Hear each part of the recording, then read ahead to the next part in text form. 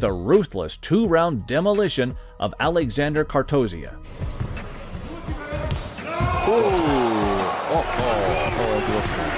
Ovo je kraj, ovo je kraj. Kartozija se od ovoga neće moći oporaviti. Ostao presječen Grk ovdje.